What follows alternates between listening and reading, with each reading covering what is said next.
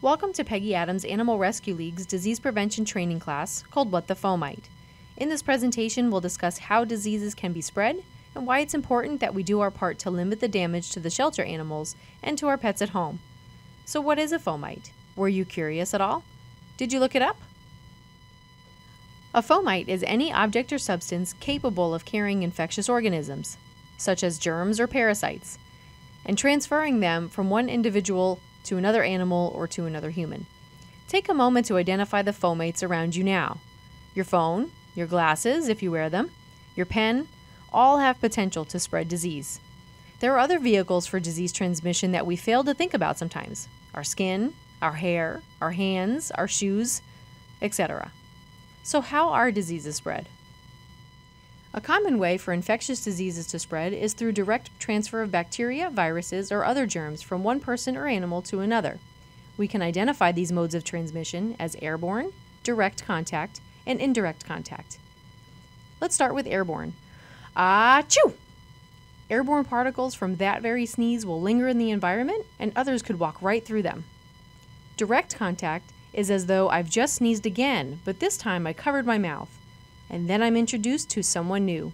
While I've protected the surrounding environment by covering my mouth, bacteria is now on my hands, and it is customary to shake hands when you meet someone new, right? This is direct contact. Finally, indirect contact. After meeting this new person, they go on to meet someone else, and they shake their hand, sharing what I gave them, and so on. As humans, we've been taught how best to limit the spread of disease from one human to another we know less about how not to spread disease from ourselves to the animals. So, how do we limit the spread of disease in the shelter and to our animals at home? Wash your hands often. This is especially important before and after preparing food, after handling animals without your gloves, and after handling bedding. Disinfect the hot zones in your residence or in the kennels, any area that might have infected animals. Providing a clean environment for our animals ensures their health and happiness while they're here at the shelter and at home. By taking the time to properly spot clean, deep clean, sterilize cages and kennels, and in between fosters, these animals get what we've promised quality of life and comfort. Avoid close contact. This is a tough one for many of us to accept, but it's crucial that we avoid snuggles between animals. Each animal we touch or snuggle has the potential to spread disease via our hands, our clothes, our skin, our hair, etc.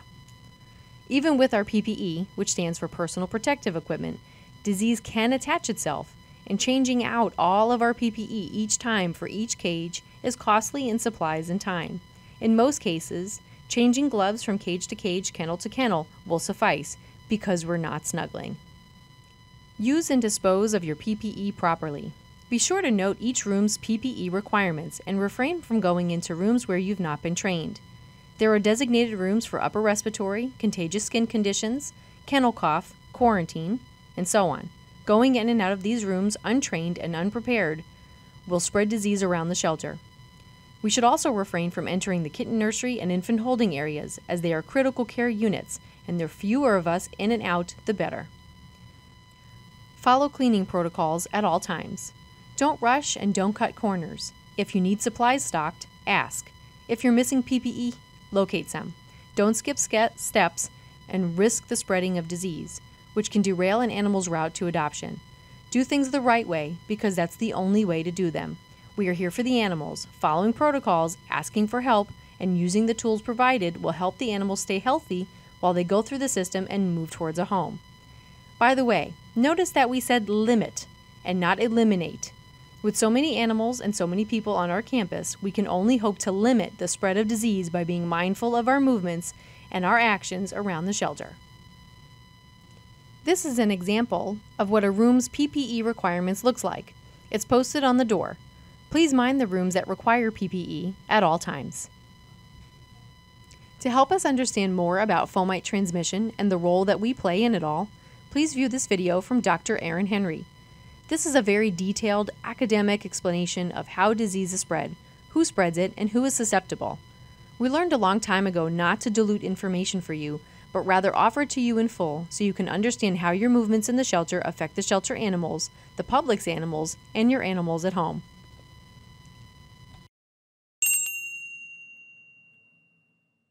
My name is Dr. Erin Henry, and today I'm going to be speaking to you about principles of disease transmission in the shelter. So first I'm going to go over basic outline of what we're going to be speaking about. We're going to start out with why you guys should be so happy you came here today to listen to my presentation. Um, from that point, and basically how this information is relevant to you guys as shelter staff and volunteers. Then we'll go on to the different means in which uh, diseases can be transmitted, the modes, and what determines whether diseases are transmitted. And we'll finish with some examples, and I'm actually going to quiz you guys on your knowledge and how much you've been paying attention during my presentation. Uh, we're going to apply some of the information I gave you to some of the more common shelter diseases. So, why do you guys need to know about disease transmission in the shelter environment? Well, I'm here to tell you that by knowing about the different ways in which diseases can be transmitted, you guys can better understand the protocols that the shelter management put in place in your shelter you can also help to prevent disease outbreaks in your shelter environment because you play a very critical role. And lastly, a lot of you that are volunteers and staff have your own pets at home, and by knowing the different ways in which the diseases can be transmitted, you guys can keep your pets safe at home as well. So before we get into the different modes of disease transmission, we're going to talk about what determines whether or not a disease is actually successfully transmitted in the shelter environment. There are so many factors that come into play, but some of the most important ones include the susceptibility of the, the animal that's being exposed. There's so many factors that determine that. It could be the age of the animal, the vaccination status. I know Dr. Berliner was speaking about uh, early vaccination as they enter the shelter. Um, you also have to worry about the stress level of the animal, and again, your your carrying capacity, etc., and the amount of stress that your animals are under. Um, also, the infectivity of the infectious agents in that are being transmitted. For example, does it take one particle of infection to transmit the disease, or does it take 10,000? And uh, Dr. Lowry's presentation on disinfection and sanitation really kind of hits this point home as well. And again, route of exposure of uh, the infectious particles. So, uh, did the infectious dose of the disease get exposed to the right area of the animal did it hit their hair coat and isn't going to start a disease, or did it actually hit where disease can be started? So now that we have those basics, I know I may be going kind of quickly. I'll try and slow down a little. Um, we're going to move on to the different modes of disease transmission. So this is a huge flow chart, and it just goes to show that this can be kind of difficult. There are many different ways that these can be categorized, and this is just one of them that we're going to use today. So the first breakdown is vertical transmission and horizontal transmission. Vertical transmission implies that a disease is being transmitted from a mother animal to her babies. This can happen either while they're still in the womb, it can happen during delivery of the babies, or it can happen while they're nursing. So there's there are actually a few uh, diseases in which this is pertinent, but we're only going to discuss one of them today, and the bulk of our discussion is going to be on horizontal transmission, which occurs when two animals of either the same species or a different species transmit diseases to each other, and it tends to be the more common way that you guys think about disease transmission in the shelter. As you can see, it gets further broken down into basically indirect transmission, and direct transmission, which again is further broken down into other categories, which we're going to discuss in more detail soon. So, first, let's talk about direct transmission. Uh, direct transmission, as you noticed on the flowchart, can be divided into direct contact transmission as well as droplet transmission. So, as you guys can see here, direct contact transmission requires body surface to body surface contact between either animals of the same species or animals of different species. And it's kind of important to note that a different species, humans are also considered a different species, especially in the case of zoonotic diseases. Next, we'll talk about droplet transmission. And droplet transmission occurs when infectious droplets, which can be of any sort of secretion, whether it's oral secretions like snot, etc., or feces that's been aerosolized, or urine, uh, when it leaves one animal's system and comes into contact with the mucous membranes of another animal. And next, I just have a little depiction of how droplet transmission can occur. So you can see that our infectious animal here on the right has just sneezed, and he has sprayed his infectious particles all around to these three animals that are within a few feet of him. And you can tell they're quite disgusted by this, of course. Um, but it's not only important to note that these animals have been exposed, but when he sneezed, he also exposed the environment, which is another mode of disease transmission, which we're going to talk about next. And that is indirect transmission. So, indirect transmission can be broken down into airborne transmission and fomite or environmental transmission, as well as vector transmission, which we're going to discuss all of them, but we'll start off with airborne. And airborne transmission happens when an infectious particle uh, remains suspended in the environment. So, really great example is dogs that are barking and coughing when they have kennel cough. They remain suspended in the air for a very prolonged period of time, and uh, they're capable of traveling pretty far distances and infecting uh, surrounding animals. Again, great example barking dogs in the kennel. They're all barking. I'm sure many of you have walked through the dog runs in your own shelter and come across dogs barking, whether they have kennel cough or not. And again, it can be transmitted in that way. Uh, next, we'll talk about vector transmission, which is a disease specific mode of transmission um, when the disease has to pass through another species before infect, becoming infective to the animal that is kind of the host specific animal. So, the best example I could come up with of vector transmission, and it tends to happen a lot more in the southern shelters, is heartworm in dogs It also happens in cats, but everybody tends to think of it mostly in dogs. So, in order for a dog to become infected with heartworms, you need to have a mosquito vector. So, in essence, you cannot have this infected in this guy without this pesky little mosquito. That being said, biological vectors such as mosquitoes are not the only way in which a vector can transmit disease. There are also ways in which, uh, in some instances, um, animals such as flies can carry disease on themselves and transmit it mechanically.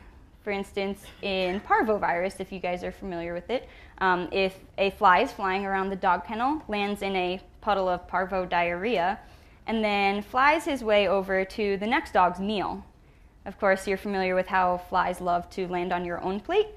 Same thing happens in the shelter, and they can land in the bowl and actually transmit parvovirus. And that very, is very similar in, in uh, theory to the next uh, mode of disease transmission that we're going to discuss, which is indirect with environmental and fomite transmission. In, indirect environmental and fomite transmission occurs when a susceptible animal comes into contact with a contaminated environment or a fomite. So these environments could be either a dog run that isn't disinfected between dogs if you bring ill dogs into your dog runs, or if your shelter likes to rotate kennels during the day and they're not properly disinfected. Another plug for Dr. Lowry's speech on disinfection and sanitation next. Or if you have a cat that was ill and maybe it got adopted out ill and you bring a new cat into that former cage and it hasn't been properly disinfected. And again, as the name suggests, not only is it possibly environmental transmission, but also fomites. Could I just get a show of hands? How many of you guys know what a fomite is? Pretty good. So, about half of you guys. Don't worry, for those of you that don't know, I'm going to explain it. So, a fomite is any object that's capable of transmitting disease from one infected animal and carrying it and transmitting it to another infected animal. There, and your shelter is chock full of fomites, whether it's a bucket that maybe gets disinfected once a week, or maybe even not at all. When you clean cages, you can transmit via the mop and the mop bucket, or say you have some awesome furniture in the dog runs for your dogs to learn how to get up and sit pretty on makes them more highly adaptable perhaps. Um, that can be a fomite. You can have, if there are regular dog toys that are left in a dog run and everybody gets to play with them and they're not disinfected in between dogs, that can be a fomite. Even the pen that you guys like to use in your shelter, if you're walking around with a clipboard, you interact with a dog, and you get a rainbow of germs, like Dr. Berliner was saying, all over your pen, and all over the doorknob. And it's important to note that not only are inanimate objects capable of transmitting disease, but there's also a really popular fomite, and there's actually a room full of them right now, and that's you guys. So, diseases can be transmitted via you guys, whether it's on your clothing that you've been snuggling with a dog or a cat, and then you move on right on to the next cage and snuggle with another one, or if you're just walking around and petting them, and you're maybe you're in the isolation ward and you pet the sick cat that looks like it needs comfort, and then you move on to the healthy cats and you decide, oh, let me snuggle with them too. You take your rainbow of germs on your shirt and on your hands, and you can transmit it from one cat to the other. This is also a very important mode of transmission because it's actually how you guys can transmit diseases to your pets at home. So, say you're spending your time at the shelter and you like to snuggle them and you're petting animals, and then you can go home and your shirt, your hands, and for those of you who love to get puppy kisses on your face, you can bring all of those germs home to your own pets. Very important to note. So, we've gone through this all very, very quickly, and I went through the whole nitty gritty academic perspective of disease transmission. But now, what we're going to do is I'm going to have you guys get your clickers out, and we're going to try and apply this to the different, very common, and some of the more concerning diseases in the shelter environment. So, first, we'll start off with canine kennel cough complex, and I'm going to just as a little bit of information. I have all of the different types. There's more than one right answer for each of these. So just go with what your gut is and what you think is the most important. So just a little word about canine kennel cough. How many of you guys have that in your shelter? Just a show of hands. Or have at some point. You've noticed a dog that coughs or sneezes and has little snots dripping from him. So canine kennel cough, as you might think, is transmitted through the different secretions that come out of the dog's face. So through sneezing, coughing, all sorts of oral secretions, etc. So based on that little bit of information, what do you guys think would be the most common mode of transmission? And let me open this for polling. Right, you can go ahead and. All right, the polling has stopped, and let's see what you guys had to say. So, about 6% of you said direct contact. Uh, 78 said indirect contact via airborne transmission. Uh, 15 were indirect fomite transmission, and 1% of you said indirect vector transmission. Very good, guys. You're, you're on your game and you're obviously paying attention. So, some of the most important means of transmission are direct contact, airborne transmission, and fomite transmission. And I could see where perhaps a vector transmission could occur via mechanical.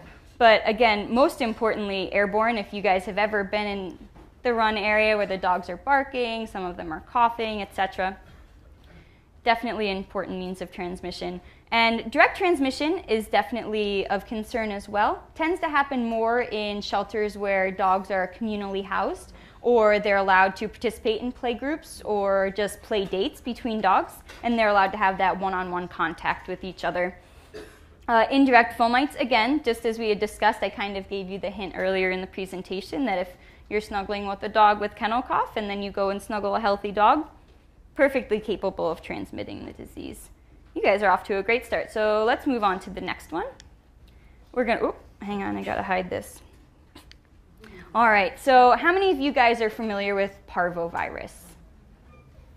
Good, it's a very, very important disease, especially in puppies, tends to cause really bad diarrhea and can even uh, kill poor puppies.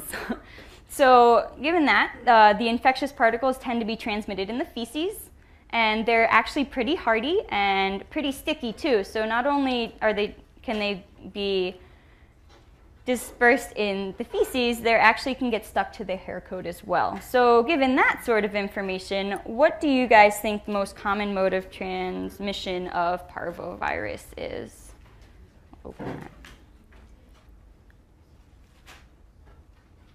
All right, let's see what you guys had to say. So we got 29% direct contact, 6% indirect airborne, uh, 45% indirect fomite, and 17 indirect vector, and 3 vertical transmission. Good, so we've got a pretty good spread. Uh, you guys definitely touched on the ones that I would have would have definitely focused on the direct contact, indirect fomite, and then again vector transmission since I mentioned it earlier. One other thing about parvovirus, uh, just kind of a little factoid. How many of you guys know how long parvo can stay in the environment? Anyone? Very good. So parvo is a very, very hardy virus, and it can last up in the, in the environment for months, up to even a year.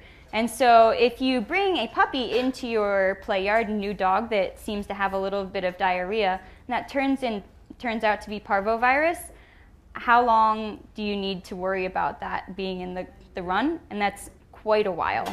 Definitely need to focus on disinfection in that area because if you have a puppy, say that puppy came in in March, and then another puppy that's susceptible comes in in August, there's still a chance that that puppy can be infected. Right, very. Is that even with like bleaching? So if you take proper disinfection techniques, it definitely lessens it. Lessens it, but Yep. So I'm yep. So I'm going to harp on staying around for Dr. Lowry's presentation and learning all about disinfection and sanitation next. She's very excited to talk to you guys about it. so before we move on, we're actually going to move on to cat diseases, two of the more important cat diseases. And how many of you guys know uh, what disease is kind of similar to canine parvovirus in the shelter? Very good. Feline panleukopenia. I can't put anything past you. Can I get a show of hands of how many of you know what feline panleukopenia is? It's okay if you don't. The other common name for feline panleukopenia is feline distemper. It's kind of a tricky name there. Oh, wrong button. Sorry, guys. So, feline panleukopenia, just as with parvovirus, tends to be secreted in the feces. Um, although in the most acute form, so really early on in the stages of panleukopenia, it can be excreted in all of their body secretions. So given that sort of information, we're going to open the polls, and you guys, keeping in mind that it's very similar to parvovirus, what do you guys think is the most common mode of transmission? All right. So let's see what you guys had to say. 65% of you think indirect contact or fomites, 24% direct contact, uh, 8% indirect airborne, mm, 1% say indirect vector, and 1% say vertical transmission. So, very good. Again, focusing on the indirect fomite transmission, very important, especially if you have kittens going into foster homes and they're not necessarily, their health status isn't necessarily known. Um, direct contact you have to worry about, especially in communal cat housing shelters. I, I know there's a big movement towards that sort of housing for cats. Um, indirect airborne, maybe possible, but not necessarily as much because do cats sit there and bark their heads off and kind of spew everything everywhere? I guess maybe they're meowing, but the force behind their vocalization isn't necessarily as strong as a dog's. Um, vector, again, possible, similar to parvovirus. And one other little thing I wanted to talk about. So you, I mentioned earlier to you guys that we were going to mention one disease that can be transmitted vertically from the mother to the baby, and that's this one. So feline panleukopenia can be transmitted in the womb from the mother to the babies, as well as at delivery or via lactation. And one important note is that vertical transmission in utero does not cause the same clinical signs as you would get in horizontal transmission. Does anybody know what it causes? Very good. A neurologic issue called cerebellar hypoplasia. So, those of you that aren't familiar with it, and they're actually kind of cute, and it's sad to say that, but it produces a very wobbly kitten that when they try to do something, their head shakes or they kind of wobble over. Um, it can cause that issue in them. You guys are very, very good at this. So we're going to continue on to the next one. Oh, I'm sorry. Uh, we're going to continue on to feline upper respiratory tract diseases. So similar to kennel cough, they are secreted in all of the eye, nose, and oral secretions that are produced by the cat, um, though there are many different uh, infectious agents that can cause feline upper respiratory tract disease, which I'm sure you guys are familiar with. Um, so the different oral, eye, and and nose secretions can spread it. So let's see what you guys think in terms of most common modes of disease transmission. All right. Let's see what you guys had to say. Very good. So 7% direct contact, 54% indirect airborne, 38% mm, indirect fomite, and 1% indirect vector. So pretty good. Um, one thing I want to take a chance to clarify is that airborne and droplet transmission is not the same. So again, with these guys, so dogs tend to transmit it via air, uh, airborne transmission because they bark and they set, shed thousands of micro droplets, tiny little things that get aerosolized, kind of like an aerosol spray. Whereas cats, the coughing, they don't tend to really cough. Um, they tend to sneeze more. And if you think about the pictures that they have of of people sneezing. They have the kind of time lapse. I tried to find one of a cat sneezing so you could kind of see how big the particles actually are. They don't tend to travel as far. So airborne is not necessarily as common, uh, but droplet is. And I kind of led you astray by not actually including it in my answers. But very good in that indirect fomite transmission definitely happens, as well as direct contact, especially in the communal housing setting. We're going to go on to one last example. So if I can hide this. Um, we're going on to dermatophytosis. Who knows what dermatophytosis is? It's a big word for anyone? Ringworm. So you can see the little circles on this dog's head. Yes, not actually a worm, it's a fungus. And it's a skin issue.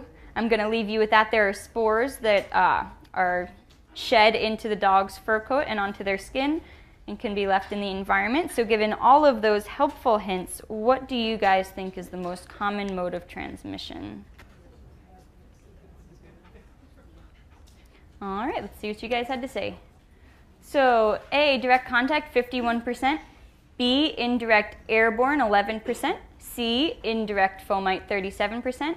And E, vertical transmission. Good, guys. Not too bad. So definitely direct contact, especially, again, in the communal housing setting for dogs or cats. And definitely, again, hitting on the fomite transmission. So going from people or blankets that aren't properly sanitized. Little plug for Natalie's wonderful presentation. I want you guys to stick around for hers too. Um, and vertical transmission, you know, I didn't actually think of that, but definitely possible if you have a mother with ringworm and there are kittens nursing on her. Definitely a possibility. Airborne, I'm sure a lot of you, ha- you're probably thinking in terms of vents and the airflow through the shelter. That's a very good thought. Um, again, harping on Natalie's presentation, uh, good sanitation good sanitation techniques and disinfection uh, can help to really prevent this. And as long as you have a good filter on your your ventilation systems, it shouldn't be much of a problem, but it is definitely a concern for most people. All right, so you guys did a great job doing all of this, and all we have left are my take home messages. So, in conclusion, I'm going to leave you with my top four take home messages. I know there are only three listed, but I have four. And first, it's that as a volunteer or staff member, you guys play a crucial role in disease transmission in the shelter, and there's so much that you can do to help prevent disease. Uh, second, there's many factors influencing whether or not a disease is transmis- uh, transmitted, uh, as we were discussing, infectivity, patient status, etc. Um, third, as you guys might have noticed throughout our my presentation, that fomite transmission is very important, and Therefore, since you guys can be fomites, it's very important that you're a mode of transmission as well, and it's very important to recognize that. And lastly, uh, different shelter setups, as you might have noticed, can promote different modes of disease transmission. And it's important to think about how your shelter is set up and what the most common mode of transmission would be for certain diseases in your shelter specifically. So with that, uh, I wanted to thank AS, the ASPCA and Maddie's Fund for putting on our conference this weekend.